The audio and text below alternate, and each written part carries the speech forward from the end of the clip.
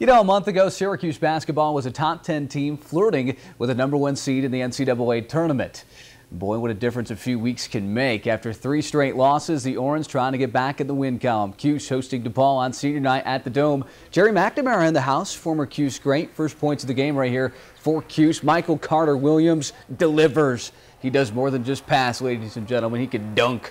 DePaul in the lead. Jamie Crockett Hey, this one's for Davy. Long one for three. They lead by two later on in the half. But here comes C.J. Fair. You know, it's more than fair when this man can dunk as well. Cuse would pull away. Then Fair, he would get a nice one from deep. Orange break the losing streak. They rock 78 to 57.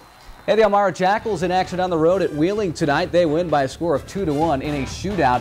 Get this, Jack Attack. They're 6 0 1 and 2 in their last nine. Keep up the great work there for the Jack Attack. College lacrosse scores from today. The 14th ranked Cornell women. They take care of Biz 17-5 over Colgate.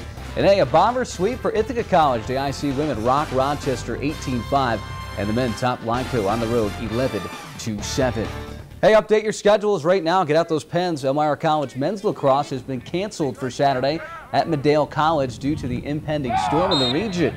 No makeup date has been announced just yet. EC back in action next Wednesday versus SUNY Oswego at Elmira Free Academy. For the first time since 2010, they're dancing. Elmira College women's hockey off to the NCAA tournament, and it feels more than good. The Soaring Eagles finished with a 21-5-1 record. Wow, that's pretty good. They received an at-large bid to the dance thanks to that. Even though EC lost in the ECAC West Finals, their body of work, well, that speaks for itself. Bowdoin College awaits Saturday in the first round, and for EC, getting here is exciting. It was just a great environment. Um, we haven't heard that news in a long time, so it was just, we knew that we had another chance and trying to take advantage of it this weekend. I was actually watching it in class, so it's a little hard to focus, but I mean, just seeing our name come up. Last year we watched it and our name didn't come up, so it was just a good feeling. We're very fortunate to have that opportunity to to uh, live to see another day, and um, it's a it's a real special time for everyone involved. Uh, all the hard work over the course of the season has paid off.